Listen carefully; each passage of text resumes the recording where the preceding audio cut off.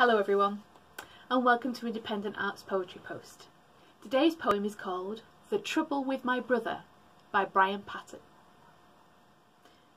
The Trouble with My Brother Thomas was only three and although he was not fat we knew that there was something wrong when he ate the cat. Nibble nibble munch munch, nibble nibble munch, nibble nibble munch munch, he had the cat for lunch. He ate a lump of coal, he ate a candlestick, and when he ate the tortoise, mother felt quite sick.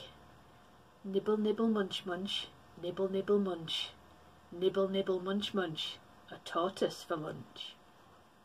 When he was a boy of four, he went to the zoo by bus, and alarmed us all by eating a hippopotamus. Nibble, nibble, munch, munch, nibble, nibble, munch, nibble, nibble, munch, munch, a hippopotamus for lunch. When he went to school, we tried to warn the teacher, but Thomas pounced her long before anyone could reach her. Nibble, nibble, munch, munch, nibble, nibble, munch, nibble, nibble, munch, munch, a teacher for lunch.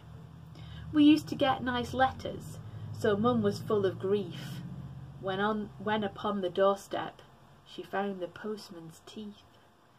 Nibble, nibble, munch, munch, nibble, nibble, munch, nibble, nibble, munch, munch, a postman for lunch. He ate thirteen babysitters, we often heard their squeals, and he ate a social worker in between these meals. Nibble, nibble, munch, munch, nibble, nibble, munch, nibble, nibble, munch, munch, a social worker for lunch.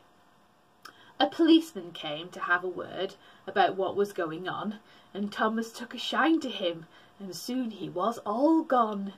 Nibble, nibble, munch, munch, nibble, nibble, munch, nibble, nibble, munch, munch, a policeman for lunch.